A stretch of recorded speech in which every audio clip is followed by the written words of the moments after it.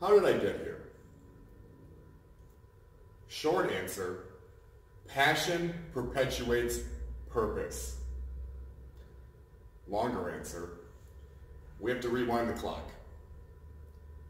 Over 12 years ago, in Green Bay, Wisconsin, it's the spring of 2006, and I had just completed my first high school football combine at the Don Hutson Center, the Green Bay Packers training facility. And on my way out, on the tables as you were leaving, there were sign-up sheets and waivers for an even bigger combine to come in the weeks ahead. Now, it was made very clear on these sign-up sheets that this upcoming combine was for seniors to be. Keep in mind, uh, I had just finished my freshman year of high school, so I had no business attending this camp in particular. But something told me I had to go. So I grabbed a sheet, I signed up, and I went. Little did I know, that moment would change my life forever.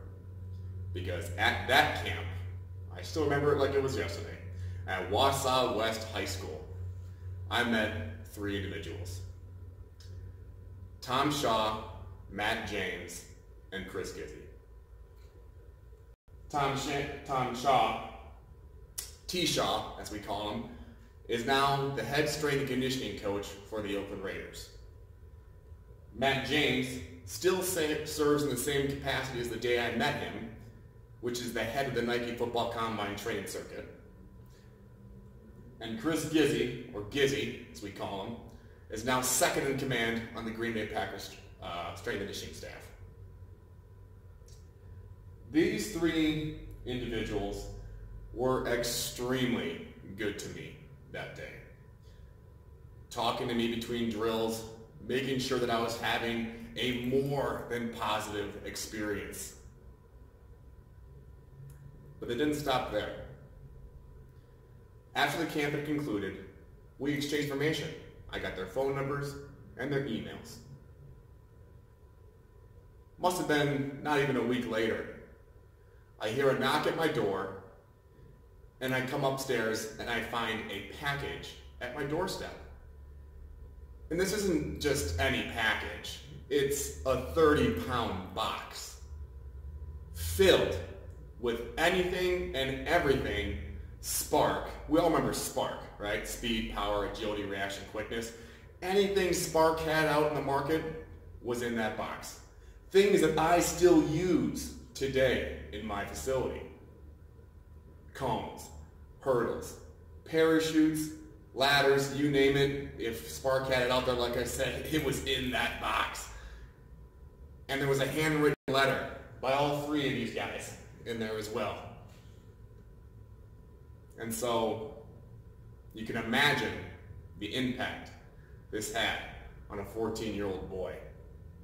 Now, some of you may or may not know this, but at 14, I had just lost my father less than a year ago. So I was extremely, extremely impacted by their kindness. And so I asked them, I said, why are you guys being so good to me? And without skipping a beat, they said, we are just here to pay it forward. And I didn't know it at that time, but I did know that that was the, the reason why this industry was for me. At that moment, I knew strength and conditioning was my path in life. No question. And as the years went on, that then became my purpose. Or my why, really. So I'd like to ask you, what is your why? Right? Why are you watching this presentation right now? Sure, it's to get better. It's to network, right? Maybe know me a little bit better. But I'm guessing that's all surface level. There's something deeper there. right? Why did you get out of bed this morning? Right? The reason I got out of bed was to pay it forward. But it didn't stop there with these guys. Didn't stop there. In the summer of 2008, before my senior year of high school, I went down to Florida to train with T. Shaw at Disney's Wide World Sports Complex. I'm training alongside guys like Ike Taylor, James Farrior, Tarvaris Jackson, Santonio Holmes, Darren Sharper. Right? You can't make this shit up. Doing speed drills right alongside these guys. Right? So, pretty powerful stuff. 2008, senior year of football. I then went on to play college football at Grand Valley State University.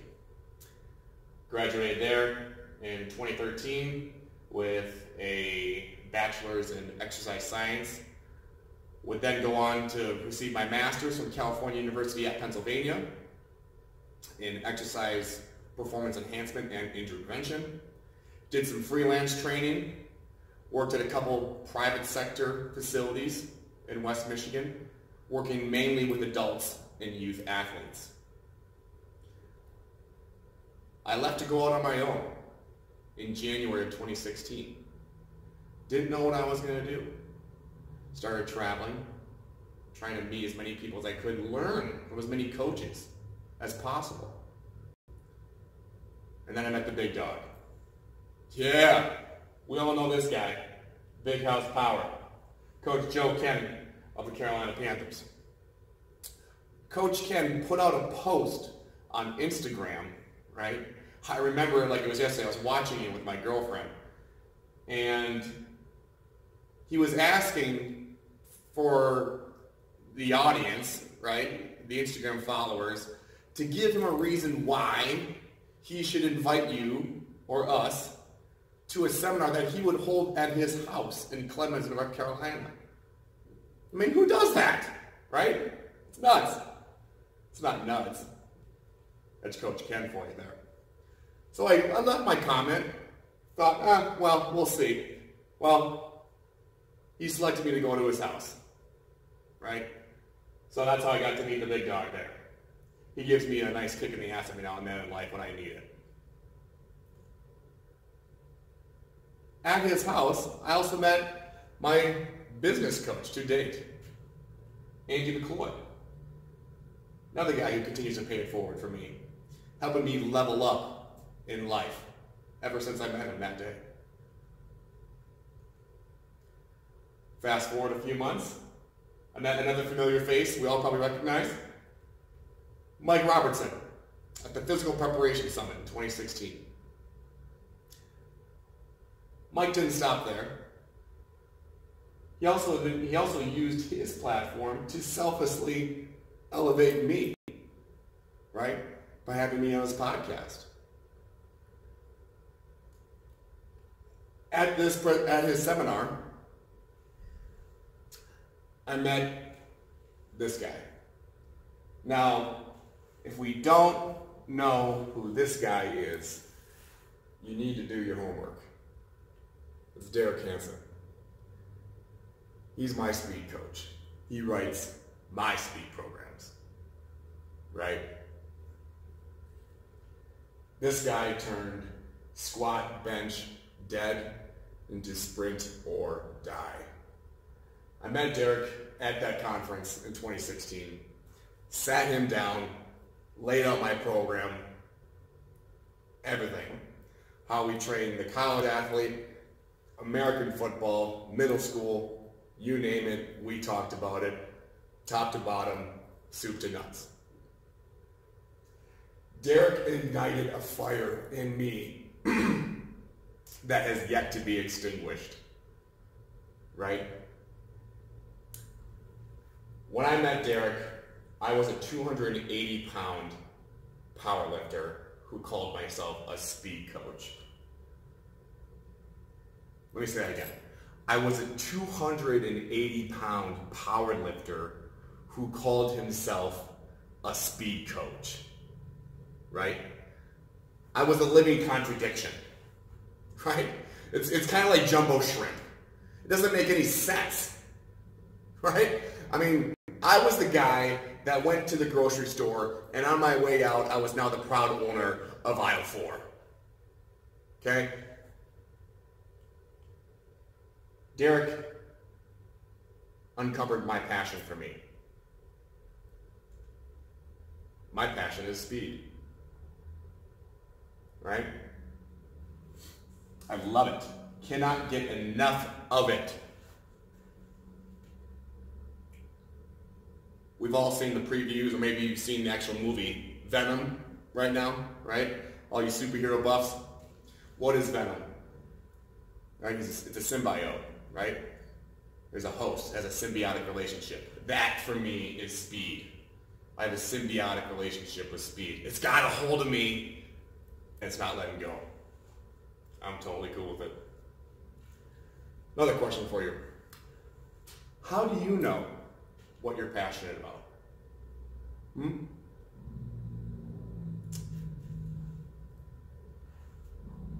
I can tell you that the word passion literally means to suffer. Why do you think the movie is called The Passion of the Christ? You love something so much, you're willing to suffer for it. For me, that is speed. I can't tell you how many torn hamstrings I've had over the past year, right? I can tell you my right calf is now deformed. I can tell you that my pubic symphysis is, is detached. But it's all good. It's my passion, right? It's all good. And for me, my passion perpetuates my purpose, right? Speed is the vehicle that I use to pay it forward, to leave a lasting impact on those I serve. Passion perpetuates purpose. So, here's my promise to you. 45 minutes from now, you will have the tools that will make game-breaking athletes. No question, will make people faster. But it also has the potential to change lives. And one life I want to talk to you today about is Ellery. This little girl has my heart. I met Ellery over a year ago. She was 12 years old. She had never been involved in any sort of formal training. She's a two-sport athlete. We're working on a third, trust me. You should see the way she runs. We're trying to push her to track, right? Two-sport athlete right now, volleyball, basketball. Unlimited amount of potential this young lady has. She passes the eyeball test with flying colors. But she's unsure of what her thing is. That's where mom told me verbatim. She doesn't know what her thing is right? But she did know she wanted to become a well-rounded athlete. Okay? But she had a problem, a few complications, right? She's a middle school girl. Now, aside from everything going on with her anatomy during this time, middle school girls are mean to each other, right? That's a fact. 100% fact her coach's demands and expectations. So she has some villains in this story, her coach being one of them. I met the guy. Now, this might come as a shock, but not every single guy who used to play in the NFL is a nice guy. Just gonna be straight with you. This guy's a douchebag. Okay? So her coach is a dick. Even her teammates see more playing time than her. Right? Her opposition being better than her. So you can imagine what all these villains and complications are doing to her confidence. Right? Her confidence level is at her feet. Right? It's effectively zero. She doesn't deserve this. That's my belief. Life's too short to impacting an individual in a negative way by way of sports. Right? It's a game for crying out loud. She doesn't deserve this. So how do we help her? What can we do? Well, the resolution, her resolution, is the three P's of speed. Okay? If you're watching this video, you have an Ellery in your life. Have or had at some point. Better yet, you have been in her shoes. We have been in her shoes. We feel her pain. We can empathize with her. Right? We know she's been. We've been in her shoes. Now, disclaimer. Everything you see in the upcoming slides, drill-wise, programming-wise, X's and O's, okay? I wouldn't be surprised if, if you have seen all these things before.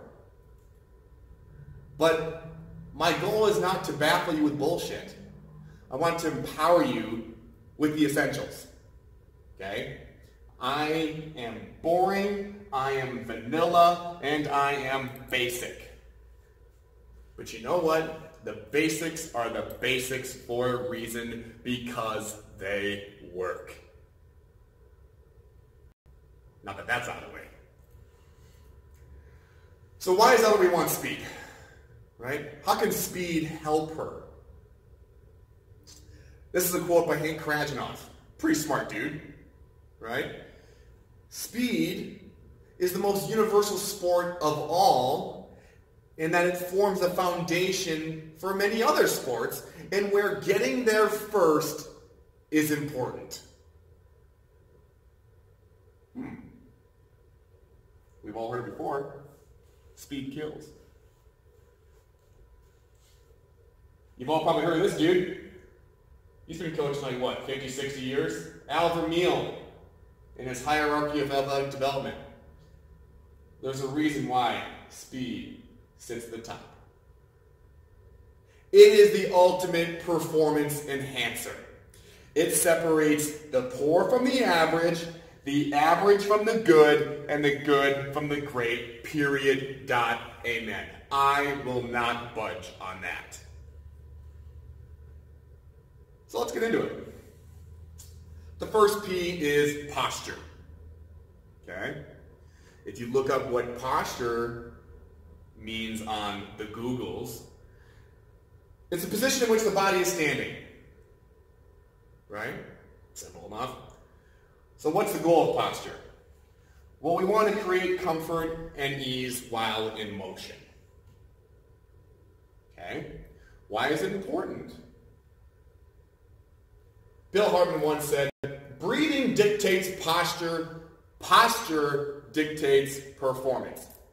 I thought that was pretty profound. So I just took half of that and threw it whoop, right up there. Thank you, Bill. Posture dictates performance. If we don't have good posture when sprinting, forget everything else, nothing else matters. Okay? A few different errors you might find during posture. Okay, we'll have excessive forward lean or trying to stay low when sprinting. We'll have a trunk flexion or like a C, looking like a C in the thorax there. Okay. And then lastly, we'll have premature or overextension. All right. So, some drills. Again, I'm sure we've all seen a lot of these before. So we have acceleration posture holds.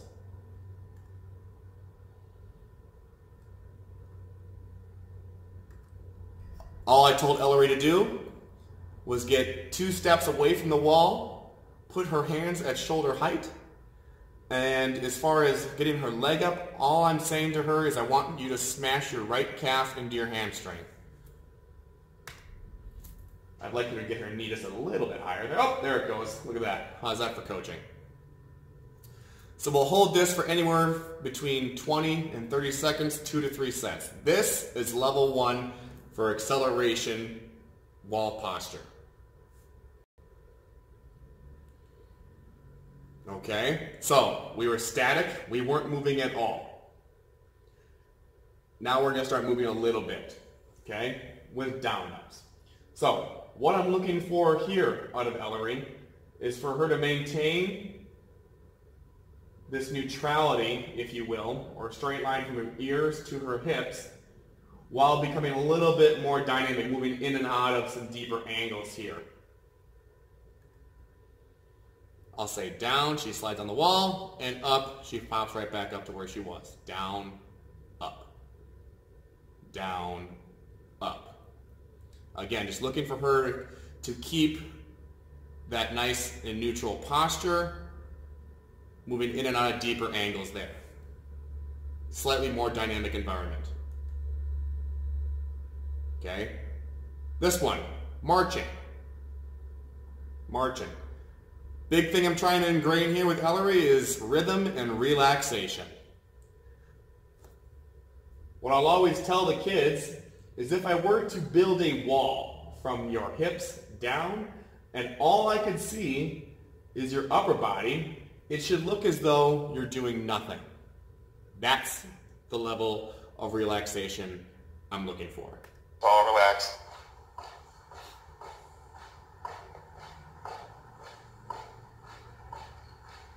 We'll do anywhere between two sets. You can do 20 seconds to 30 seconds a set. Okay, so now we're moving, starting, you can see we're starting to move a little bit faster now.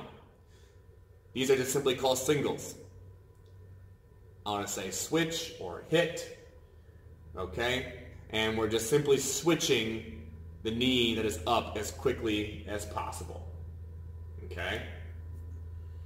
When working with a pusher or a puller, don't get stubborn, don't get stubborn, right? If I'm working with somebody who, who, who is a little bit more front side or reactive, I might say, imagine there's a plane of glass, and then when I say switch, I want you to break the glass with your down knee, right? If I'm working with somebody who is a little bit weaker or is a little bit more uh, prone to backside cueing, I might say, I want you to smash the footprint behind you with the up foot. Okay? Knee up just a little bit higher, Al. Switch. Switch. Ellery's doing a good job keeping her posture. Switch. Switch. Toe to shin. Switch. Switch. Switch. Switch. And relax. We'll then go to doubles. It's just what it sounds like. Instead of one switch, we're doing two. Okay? So, common error you'll find here is that the kids or your athletes will shorten their first switch, almost as if they're chasing the up leg, right? You want to make sure that they're getting two hard, full um, range of motion switches with each leg. Switch. She does a good job Switch. here, getting both knees up Switch. high. Switch. Switch. Switch. Good. So you can see a trend now what's happening with the posture as far as acceleration goes. Okay, we're, we we we were static, slowly starting to move, getting a little bit faster in our movements now, right? Almost as almost as if it's resembling running somewhat. Now, the band, you can see there's a band around Ellery's hips here. Okay? This can be used for either a corrective means or simply a form of overload. Okay? Great for corrective means because the athlete can feel the band around her waist, which allows her to then push her hips towards the wall to be in greater alignment from head to, from head to, uh, head to heel there. Okay? Or if you just want to spice things up a bit and challenge somebody who has good posture, you can throw a band around them too there, right?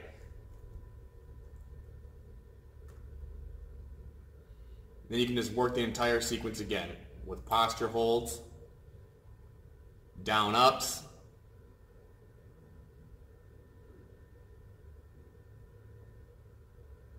marching,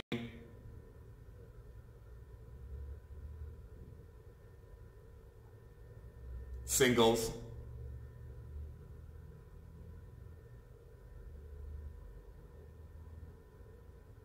and doubles as well.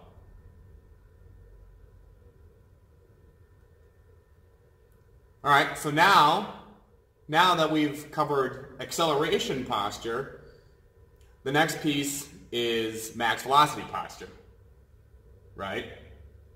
So uh, acceleration, we have a little bit more forward lean. Once we, the athlete hits, hits max velocity, they're much more upright. So we'll get arms length away from the wall, hand right and right in line with the shoulder. I'm telling Ellery to feel all of her outside foot. And if I were to press my hand on top of her head, she should be staying up tall into it. Make sure, make, making sure she's staying tall and staying big. For this first rep, or this first um, exercise, it's the same cue I used for the acceleration posture hold, which is smash your right calf into your right hamstring. And we're going to hold statically here for anywhere between 20 and 30 seconds. I love these static positions because you can correct mid-rep. And what does that do? That instantly makes Ellery a good student and you a good teacher. It's a win-win. Now, as far as teaching the strike, the foot strike, I use a part whole approach. Okay? So, we're going to break it down and we're, then we're going to put the whole thing together at the end. All right? So, I'm going to give Ellery three commands here. Down, back, recover.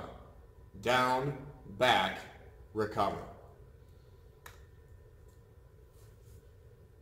Down, back, recover. Down, back, recover.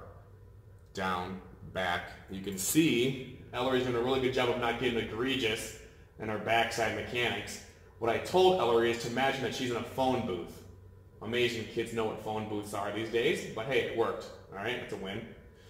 So, she's standing in a phone booth, so she's not getting crazy in her backside mechanics. All right. Now, I want to be proactive here, because this is a question I always receive, is, Hunter, why do you have the kids with their heel out in front of them when the down command? And the reason for that is most people, or athletes, right, we're going to land somewhere between 6 and 8 inches in front of our center of mass when sprinting at max velocity, right? So my foot's down here, then as my then that's where my foot make contact on the ground. My of mass will pass over it, and I'm into the next leg recovery phase there. Okay? So that's my why for that. Down, back, recover. Boom. So now we've gone from three steps to, to two steps. So instead of down, back, recover, now it's just down, recover. Right? All I'm telling Ellery to do this time is just light a match. Light a match.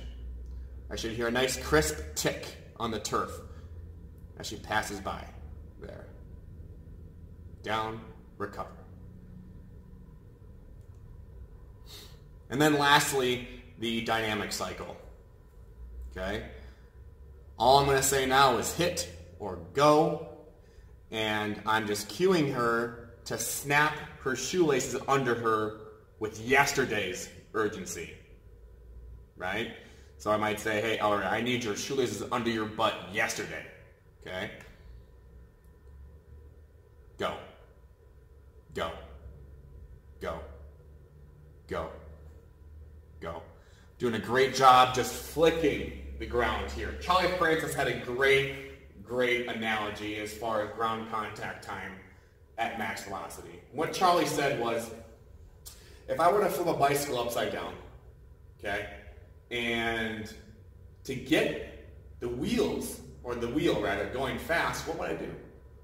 I'd grab a whole bunch of tread, right, and pull it back and down, right? Pull it, pull it, lots of tread at a time. But once it's going fast, how do you keep it going fast? Right? Wham! Just flick it, flick it, flick it, flick it. Ellery's flicking the ground here, right? That's ground contact on a max velocity. Go. Go. Just flicking the ground. Then you can do the whole thing over again, as far as the max velocity posture sequence is concerned, with the band around the waist, again, as a corrective or a form of overload. Your choice. The better the athlete, you can start to oscillate the bands. you can see I'm doing there. The band's going up, down, all over the place, creating a little bit more chaos. Down, back, recover. Down, recover, right? She just lighten the match. That a girl. Good job. And then finally finishing with the dynamic cycle there.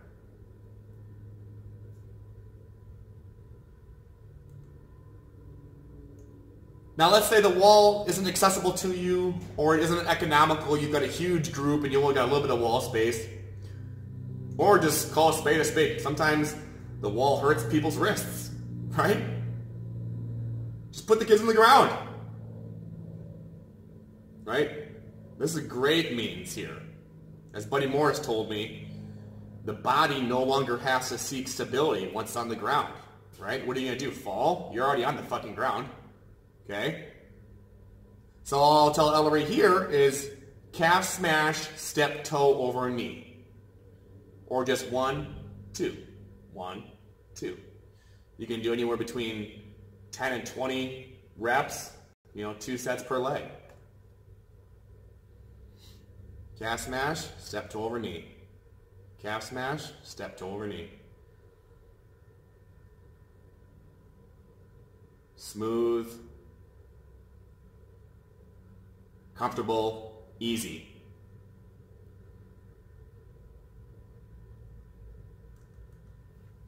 Okay? But posture is 100% necessary. Don't get me wrong. We've laid the foundation, right? But posture alone is not sufficient. Passion perpetuates purpose. Ellery needs more. We got to help her out with some more stuff. Okay? What do we do? Second P, pattern. All right? What is pattern? It's a repeatable sequence in events or objects. Okay? What is the goal? Well, we're looking at proper limb mechanics, right? Elasticity, and turnover, or frequency. Okay? Why is pattern important? Well, touches on all the said goals I just touched on, right? But it also serves as the warm-up. Right? The warm-up. The warm-up, the warm-up. I think today, with all the beautification of the warm-ups it's just mind numbing. I mean, who, what, like, what is being accomplished at this point, right?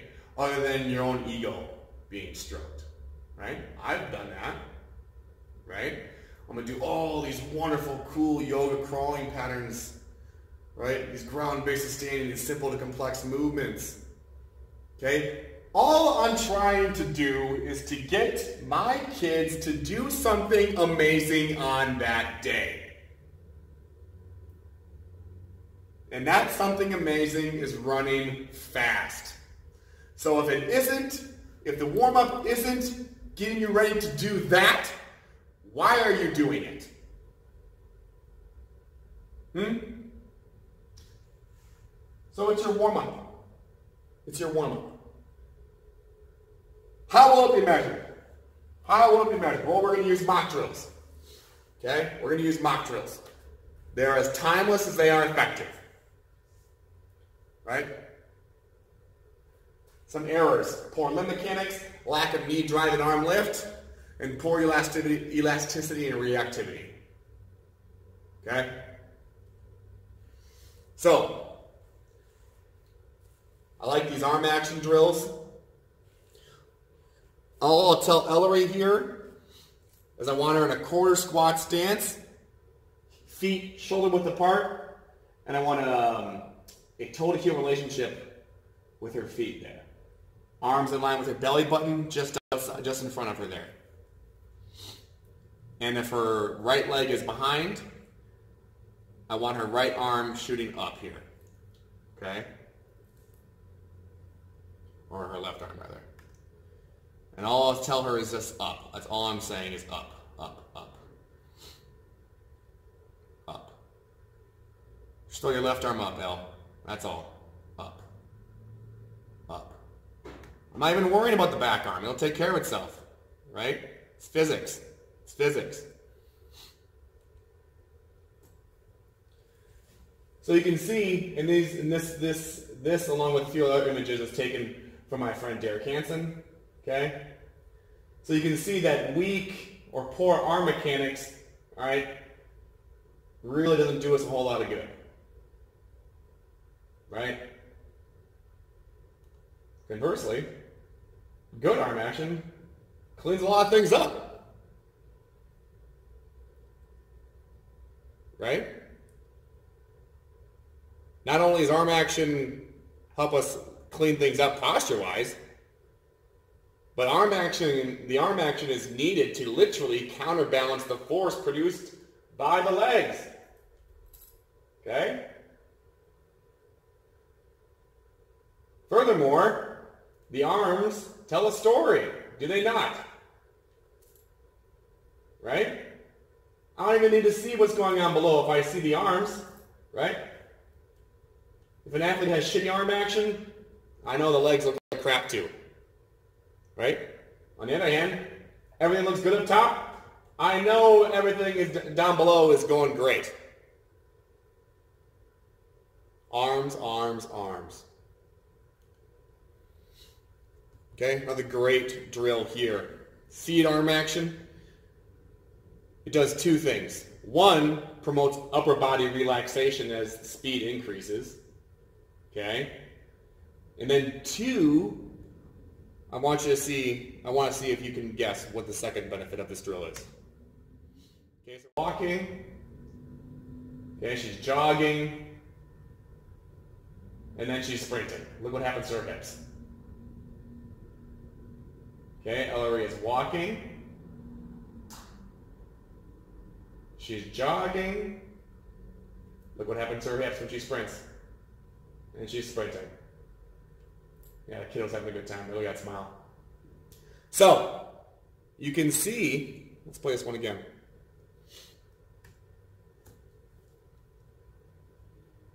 So we're getting some, she has the same composure as we proceed from walking to jogging to sprinting. That's a win. And then the hips, again.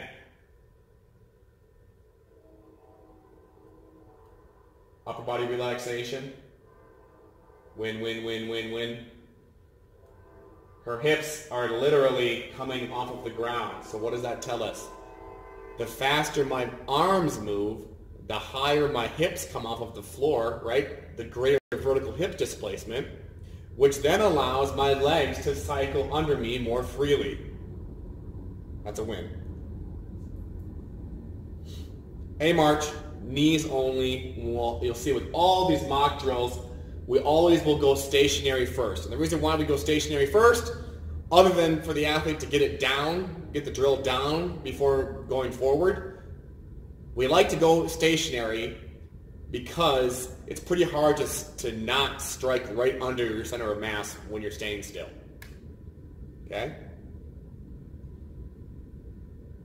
So uh, I think the only cue I'm giving Ellery right now is just lift. Right? No sexy cueing. No fancy stuff. Just lift. Now we'll bring the arms in. What do you think this cue is? Lift? Maybe up and down, right? With the arms? Keep it simple. Okay? We'll march and then we'll skip. We'll skip. Up and down, up and down, L, up and down, up and down.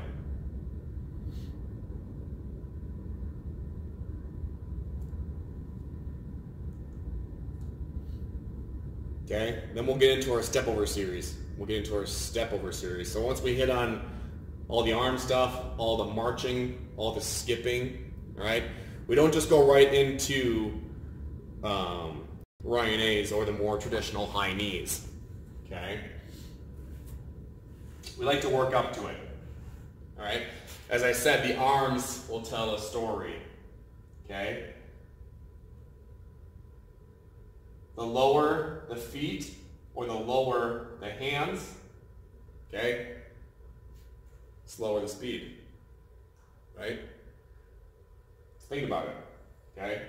When Ellery performs this drill, she's literally only clearing ankle height. Okay? Moving pretty slow. A lot of force dispersion going on. Right? Think about it. The arms tell a story. When a wide receiver wants to slow down and throw, what does he do? There. Right? Lots of force dispersion. Okay? So that's the way we progress it. We'll go from there to stepping over shins. So slightly higher amplitude, slightly higher hands, which means faster speed. Higher the hands, faster the speed. And then we'll get into our more traditional running A. Okay? So, as far as the cueing goes, for the ankle, you can tell the kids to step over the ankles, or if you if you want to focus more on the hands, keep your hands at your belly button. For the shin, you can have them, you can tell them to step over their calf, right? Split their shin, or get their hands to chest height. For a running A or a high knee, I like to tell the story about being at the beach, right? You're in knee-high water. I need you to step out of the water, right? Or if you want to cue in the hands, just tell the kids to get their hands to their eyes. Ellery's doing a good job there getting out of the water. Higher amplitude, faster speeds. Simple stuff. The arms tell a story. You can then put it in, a, in an ascending fashion, right? This is a nice little hack if you're working in limited space or the weather's crappy, right? You can mimic somewhat, right? The start, the acceleration or transitional phase, and then max velocity in a small space. Ellery starting ankle step overs, then over the shin, and then over the knee. Right? Kind of like how you would run at 10 meters, 20 meters, and 30 meters. Right? Hands get higher, hips get higher off the ground, higher amplitude underneath the hips. You can do a hard, easy, hard. So Ellery's cooking for the first three meters. She kicks it back to 90%, then returns it on for another 100% there for the last three meters. You can do easy, hard, easy too. Easy, hard, and then kick it back again.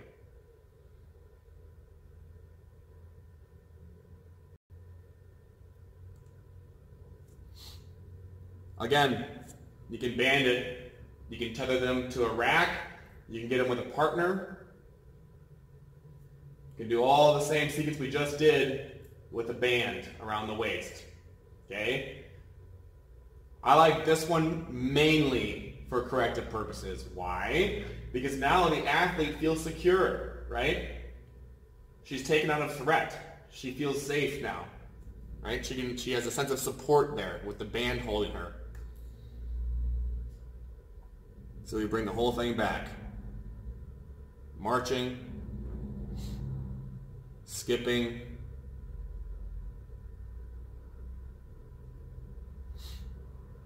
running A's, doing a good job there getting out of the water, hands to her eyes, look at that.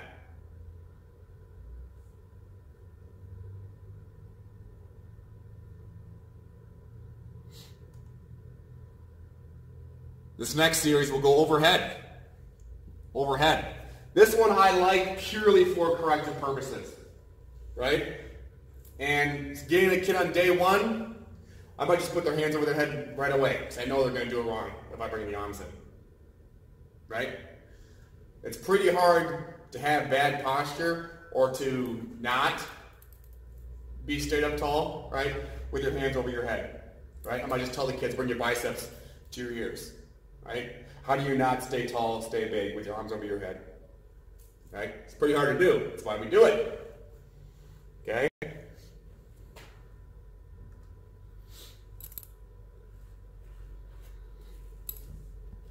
Okay, so we'll march, we'll skip,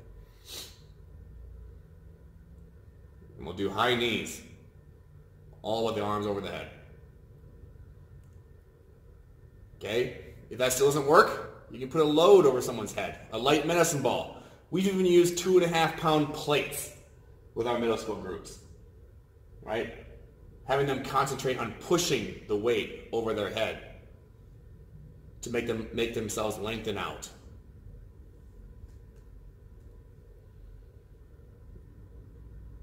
Same stuff, same stuff, man. Simple, simple, simple. March, skip, and high knees.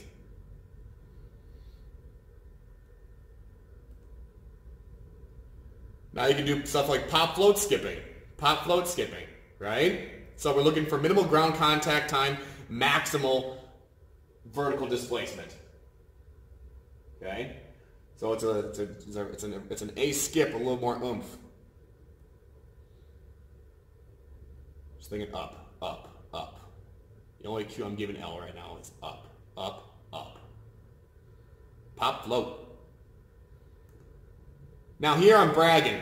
I'm just bragging and showing showing off what Ellery can do. Okay? This, the single leg pop float skip, not everybody will get there. Not everybody will get there. Okay? So don't hold your breath. Okay? What I'm looking for here is stiffness with the down foot and elasticity or reactivity with the repeating leg. Okay? She's only going to do one side. Single leg pop float skip. It's not bad for a 13 year old, huh? We'll go in place and we'll go forwards.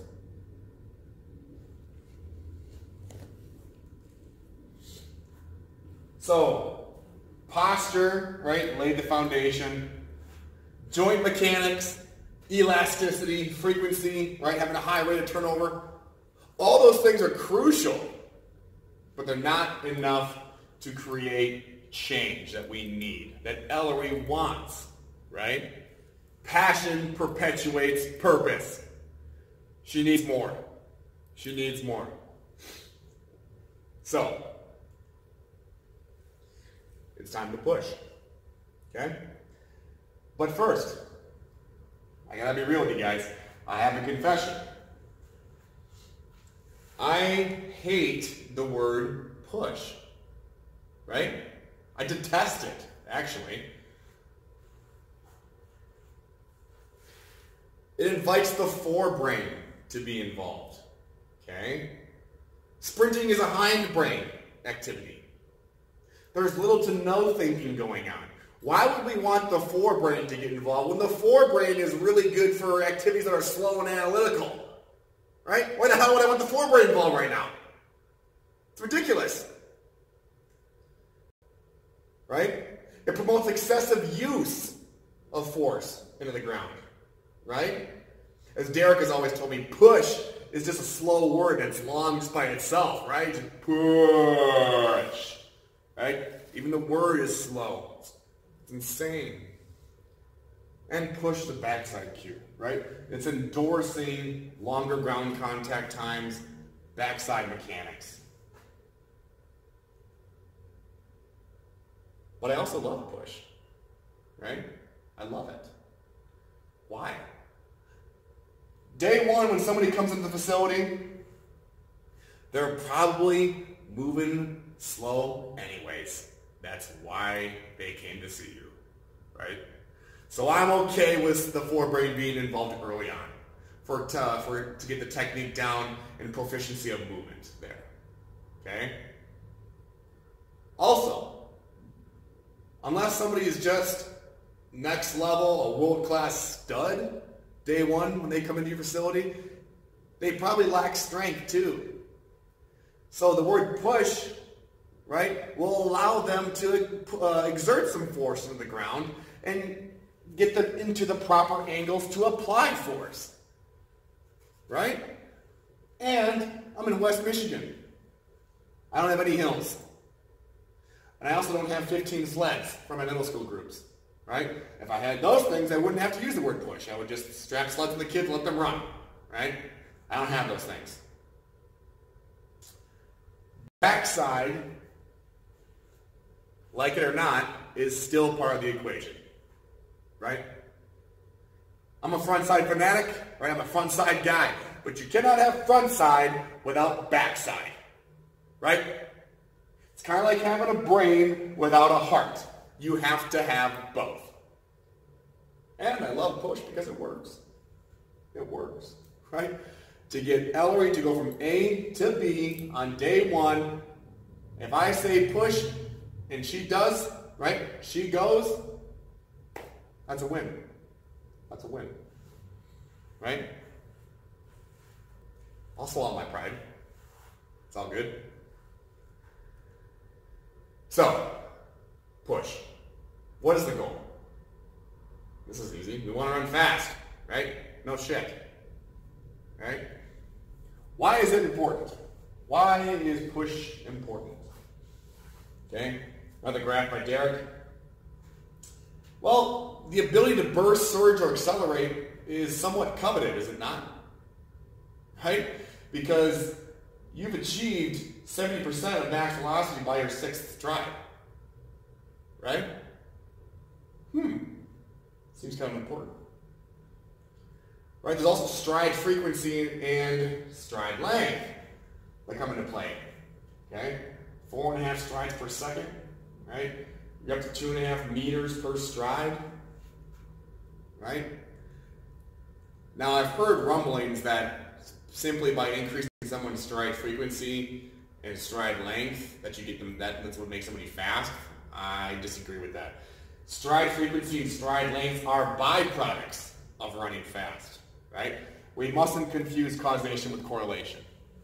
Okay? Ground contact time. Ground contact time. Right? Here's a problem I have with most coaches and practitioners in the industry. Not most, some. But I'll hear things on Instagram, right, or conferences where coaches will say, well, we want to do things that promote longer ground contact times because that's what happens during the acceleration phase. Are you shitting me? What? By your, by your first step, your first step, you've already cut your ground contact time in half, right? The proof is in the pudding, folks. If you want to run fast, you do not want to be on the ground for a long period of time, right? What is the definition of acceleration? It is the phase in which each step is faster than the last. That does not happen by staying on the ground for longer periods of time. We good there? Okay. Simply by running faster, we touch on a lot of other things. A lot of other qualities are improved. Right? You're going to get more powerful. You're going to get stronger. Right? The amount of force you exert in the ground at max velocity is far more than you're ever going to have on a bar during a squat or a deadlift. Right? You're going to improve other qualities as well. Things like agility, quickness, without having to actually do those things. right? Because you're moving so fast at max velocity, right? The higher you keep pushing your top speed, the easier all those cutting and change direction drills become because you're moving at such slower speed, right? And you can do it with all, then you don't have to touch on them as much, right? And take care of all the wear and tear you get on your body from all that cutting. Sprinting addresses multiple planes, right? So at surface level, you might say, well, sprinting is purely sagittal. I would disagree. Sprinting also addresses the frontal plane because it allows you to shift from your right to your left leg. Does it not? Right? So a lot of other things benefit simply by running faster. We look at Charlie Francis' motor unit activation chart. Sprinting sits atop, right? Has more motor unit involvement than all of your Olympic movements, all your plyometrics, and ball throws, right? Deadlift and squat don't even come close. Right? So by sprinting, one can expect their deadlift and squat to get better, right? If you're into that jazz. Speed is king. There's also this concept of the speed reserve, right? What is the speed reserve? You increase your maximum speed capabilities, and by doing so, you increase your submax velocity to be held for longer distances. Okay, so what does that mean? Well, if we're watching NASCAR, right? We're watching the Daytona 500. What is the top speed of a NASCAR these days? 250, 260 miles an hour, right? But what is the speed at which they operate at? 120, 130? Well, how are they able to hold that speed for 500 miles? Because their engine, their top speed is so great that 120 is a joke to them, right? A more human example. Dennis Kimetto is the world record holder for the marathon. Okay? Dennis runs the marathon 26.2 miles in just over two hours. I mean, it's two hours and two minutes. But many don't know that Dennis's PR for the 100 meter dash is 10.6 seconds. Okay, that's fast. That's very fast, right? So he still has a big engine, which is why he's able to run at that submax speed or for a higher submax speed for a longer duration. Okay? So even though Dennis is the world record holder for the marathon, he's still a sprinter in some sense. Right? So if you can't run fast, don't even bother running for distance. How will it be measured? How will it be measured? Okay, well, we don't want ground contact to be in front or behind. We don't, I mean, we don't want poor extension to the ankles, knees, and hips. And we don't want this butt kicking action. Okay? Now, over the past year, year and a half of me sprinting, myself, I've come up with this rule of three here. Perhaps it's not, perhaps it's not my rule. Maybe it's just an old idea that's been repackaged. Okay? But I've come up with short to long, soft to hard, slow to fast. Short to long talks about tissue resiliency. Okay? We can also run short, uh, relatively fast in day one. Short to long programs are awesome because strength plays the biggest role in acceleration. So just by keeping your effort short, right, 10 meters or less early on, you're to get the kids stronger. Two. Two birds, right? and you can also lengthen out the acceleration phase, which is a good thing. Okay? The more beautiful and long the acceleration phase is, the more powerful the max velocity phase. Right? So short to long, keep your efforts, you know, 10 meters or less early on. I might even say with the kids, just give me three to four hard pushes. Right? Might be like five or six yards early on. Soft to hard. Soft to hard. So we're not going to break inertia right? We're going to do things like walk-in starts and falling starts, where the, the kids are constantly moving, right? And the only thing that changes is the velocity, right? So we're going to be looking more at upright starts, right, which is beneficial for the lower leg. It's going to take all that stress off of the calf, the Achilles, stuff like that. Okay? I don't want Ellery to have a deformed right calf. That would be a good look, right? There's also slow to fast. Slow to fast. Slower speeds, all right, promote technical focus and ingrains relaxation, which is very good thing, right? Because intermuscular coordination is key when sprinting, right? Charlie said it best. It's not how fast you can contract, you can con- contract. It's how fast you can relax, right? I bet you right now, if you took your group of high schoolers, middle schoolers, or what have you, and you told them to run a rep at 90% instead of 100, you might find that a few of them PR. Why? Because relaxed muscles are efficient muscles. Short to long, soft to hard, slow to fast. Okay, so this this is my progression from, of uh, soft to hard starts that we use with our kids. All right, so we have a normal walk-in start here. Ellie will walk to the cone. She'll give me three or four hard pushes, and we'll call it a day. Boom. All right, she's constantly in motion. The only thing that's changing is the velocity. Right? There's no static overcome by ballistic. She's upright, minimal, if and minimal to no stress on her lower leg. We'll then go to falling starts. Feet shoulder width apart, quarter squat position, toe to heel relationship with her feet, both arms in front of her belly button. She's gonna fall, and then just push away from the line there. Fall, push, push, push. Simple.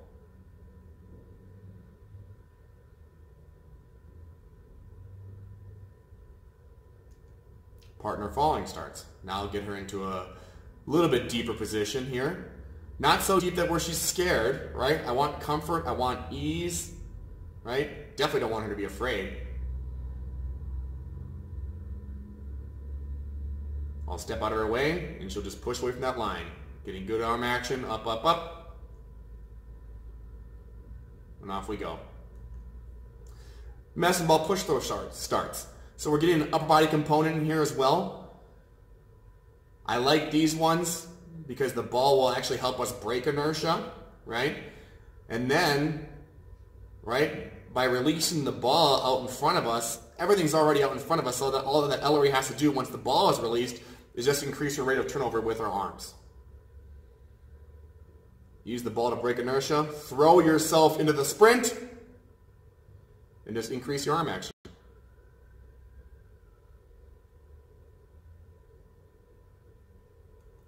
Jump back starts. Jump back starts. Getting a little bit more reactive now. Okay? So what I'll tell Ellery here, here is I want her, when she jumps back, I want her feet behind the cone and her chest in front of it. Jump back, boom, push, push, push. Easy, simple, effective. Okay? So we're, we've been moving now. This is truly a, a static start. Okay, we're getting closer to the ground. As we're getting closer to the ground, starts to get a little bit, little bit harder, right? A little bit more taxing to the lower leg. All right, this is the progression. She's using all of her strength in her lower body to push herself out of that position. Remember what I said, strength plays the biggest role in acceleration. Play that one again. Push. Kickstand starts. Ellery is not strong enough to do a full-blown push-up start right now. Okay, so instead of just being stubborn and not doing anything about that, I'll just bring the ground to her, right? By having her put her foot out in front there, as serve as a kickstand to help her push off. Push. She is good enough to do these. All right, so I'll just segment it out for her now. Okay? Push, step, go. Break it down. Meet your athletes where they're at. Three point starts. Three point starts. Pretty simple setup here. All right, what Ella is going to do is she's going to uh, get her knees on the line. Her feet are going to be hip width apart.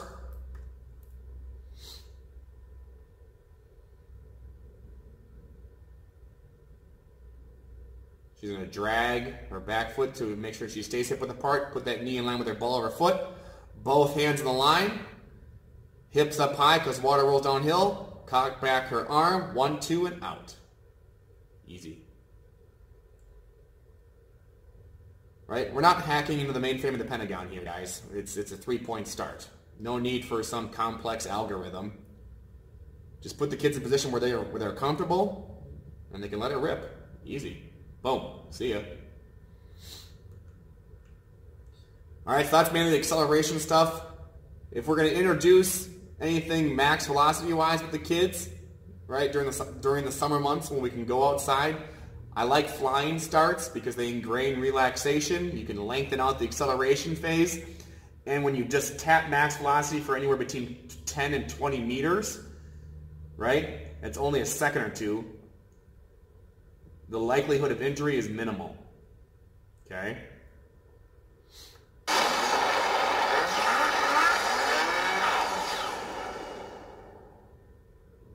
So we're starting out with a falling start here. Ellery's building for 30 meters, taking her time here as she accelerates. Boom. And she turns on the gas for the last 10 meters there. It's not bad for a 13-year-old. I'll take that.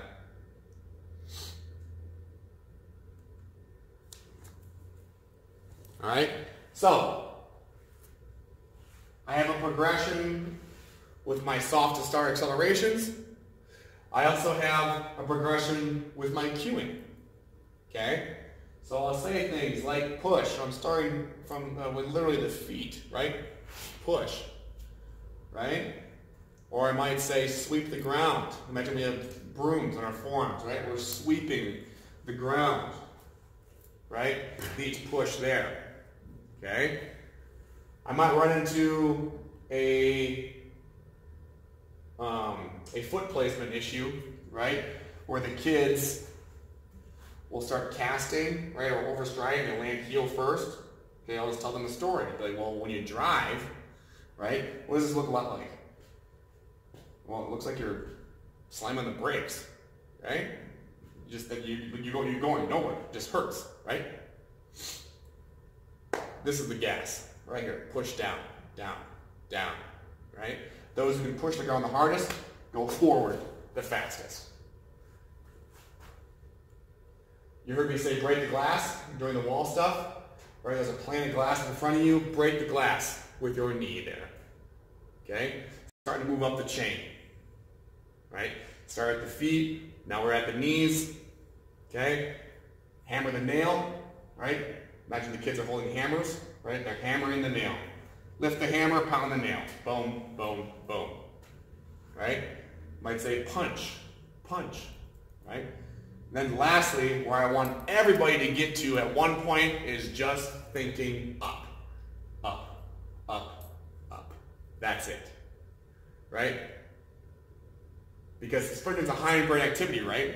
You shouldn't have time to think about much else than just up, that's not to say that anything else isn't happening, right? That's not to say that all the force being put into the ground isn't happening, right? It is happening. It's just happening too fast for you to think about, right?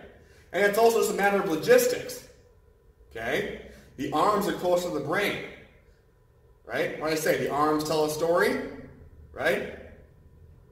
The message up will reach the arms before it reaches the legs. Okay? Remember, remember what I said. If the arms look good, up, up, up, up, you know the legs look good too. The arms tell a story. Up, up, up. So when you have a progression of both your drills and your cues, right, you are literally predicting the future, right? You've created a system, right? Because in my mind, to know speed means you can make predictions about it. Then you get stuff looking like that. Right? beat a hashtag, as Derek Hansen says, right? That's a pretty good picture for a 13 year old. I'll take that. So, planning now. Set your athletes up for success. Structuring a speed session. What does that look like? Okay? Well, we have our posture against the wall, right? Pattern with Mach drills, and push any speed means you have there for the day. Now, once posture or the wall has been mastered, right? Once they've shown proficiency in the wall, don't feel that you need to keep beating a dead horse, right? Once they've gotten really good at the wall, the only thing that the wall is good for is hanging pictures, right?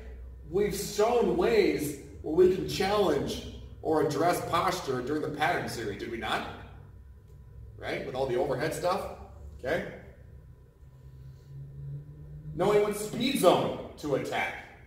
Okay, this is where I divert a little bit from Charlie's uh, charts here, just based on my, my rule of three. Okay, so if you're looking at the start, you're doing walk-ins, fallings, acceleration, you look at the push step goes, the half kneelings, jump backs, and then max velocity, more of your flying stuff there. Okay? If anybody wants any slides, just feel free to DM me or email me. Okay? Then your plan. Okay? As far as loading blocks. Alright? Just gonna let you know right now, this is my reality. Right here. This is my reality. Right? I need to maximize the mundane. Okay? If I need to do walk-in starts for five or six weeks with the kids, I'm going to do it. I'm going to do it. Right?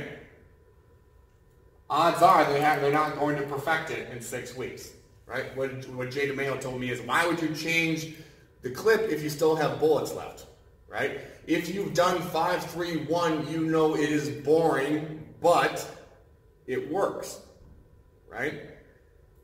But Hunter says, man, people will tell me, man, Hunter, isn't that boring? Isn't that boring for the kids? Gosh, it's got to be boring. You fill in the gaps with fun. That's how you make it fun.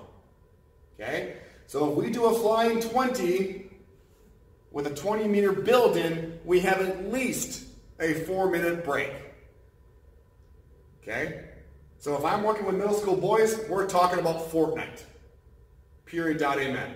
If I'm working with Ellery and a bunch of middle school girls, we're talking about the, the coolest things to do with our hair. That's how you make it fun. Okay? Maximize the mundane. Right? In season and off season training considerations. Right? In season, I like to tap at least 60 meters of total volume in a section. Right? Don't ask me where I got that number from. All right, that number just seems to work out best for us. 60 meters at least every single day, that works out well for us. Okay? If you want to get real fancy, we're coaching in a more intimate environment, more one-on-one stuff, then you can do half the volume as you achieve in the off season. So if you worked the 300 meters in the off season, just hit 150 meters that day and you call it good. Right? Off season, I want to push the maximum speed capabilities and as well as volume. As well as the volume there. Why would you not build your training program around a foundation of speed? Why wouldn't you? Right? We've talked about all the capabilities or the benefits that speed has with its trickle down effects. Right? Why wouldn't you? And so we've come to the end of Ellery's story today. This photo was taken a few weeks ago at my alma mater at Grand Valley State. Ellery is 13 years old. She's in eighth grade. She is being recruited by Grand Valley as a basketball player. She knows what her thing is, right? She wasn't sure what it was a year ago. She knows what her thing is now. She is a basketball player. She is winning right? And so now it's time for us to make a decision. Consider the impact you can have when passion perpetuates purpose And also consider the cost if you squander the opportunity. Right? So this is not about me. This is very much so about Ellery. I want you to hear the confidence she exudes, the smile she has on her face, because this was not there a year ago.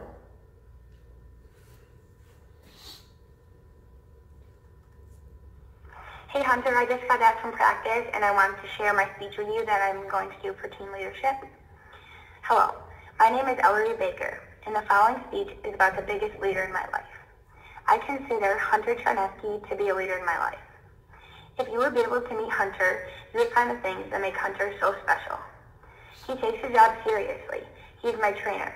He helps me become the best version of myself. He does that by encouraging me, pushing me, and taking me to the next level in all of my sports. Hunter is one of my biggest influences. Knowing that I get to see Hunter two times a week makes me realize that I get to become a little stronger mentally and physically. Overall, going to Freak Factory and seeing Hunter has changed me drastically. So if you get the chance to meet or work with Hunter, make sure you take that opportunity because he will make your day and help you succeed in life and in, in sports. Thanks. See ya. I'm quoting Vernon Griffith here when I say this, but there are few things more powerful than a young woman who is comfortable, comfortable and confident in her own skin, because it is that young woman who will go and change the world. And that is why we do what we do. Passion perpetuates purpose. Thank you.